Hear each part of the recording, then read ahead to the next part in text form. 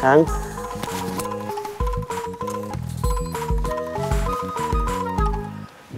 Kenapa terlambat? Maaf, Kang. Kenapa terlambat? Istri saya tadi masakin saya nasi goreng. Saya bilang pedas. Maksud saya, pedasnya biasa aja. Dia masak nasi gorengnya terlalu pedas. Jadi, gara-gara istri kamu masak nasi goreng terlalu pedas, kamu datangnya terlambat. Bukan begitu konsepnya. Habis makan nasi goreng, saya berangkat. Waktunya seperti biasa. Terus, biasanya juga sampai sini nggak terlambat. Terus, Waktu mau berangkat, saya mendadak sakit perut. terus kamu jongkok dulu. Iya, Berapa lama? nggak terlalu lama. Mungkin sekitar setengah jam.